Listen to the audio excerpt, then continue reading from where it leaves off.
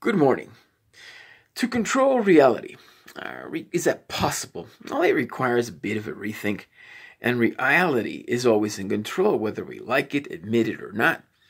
We are really reality based constructs. And while we enjoy the use of our faculties to fabricate our own consensus, in the end, it's about harmonizing our existence with what already is. And uh, first, exploring reality as is is primordial and we must deal with our misconceptions of reality. Our ideas do get in the way, and reality is always there communicating at different levels of perception. Well, we can choose to live our own reality, but reality will have the last word and is here to stay.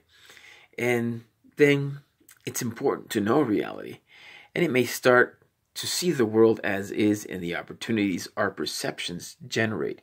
Realize we can't control reality is a relief, and to steer our thoughts is probably the most empowering things we can do within reality. So, have a great day exploring reality today. Uh, please subscribe to my YouTube channel. That's Felipe Bolaños1 on YouTube. Thank you. Enjoy a great day.